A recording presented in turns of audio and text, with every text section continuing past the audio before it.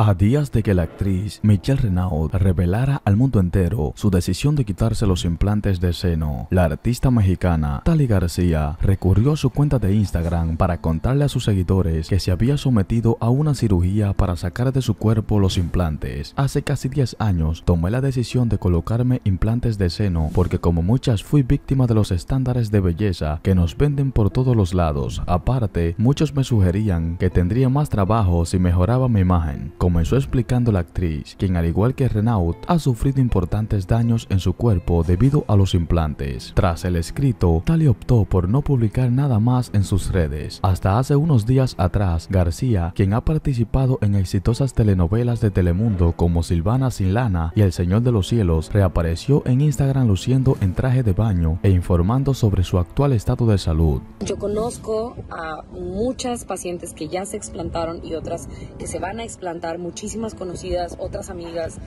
que, están padeciendo el breast implant illness de la misma forma que yo lo hice. Yo duré casi 10 años con los implantes y los últimos 3 años de mi vida fueron una pesadilla.